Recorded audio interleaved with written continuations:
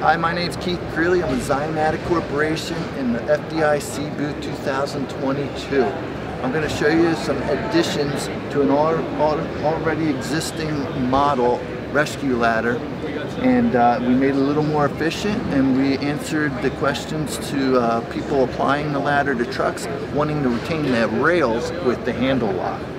So what we did here was when this ladder is closed position you're retaining the rail with the handle lock.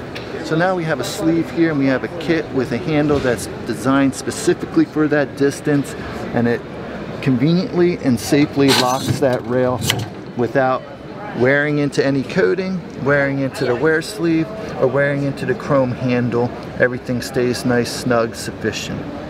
We also incorporated an, an optional uh, magnetic switch down at the bottom right or left of the system. And that will indicate that the system is locked and in a secured position so when you're off and driving, you know that that ladder's not flopping around and it's not deployed.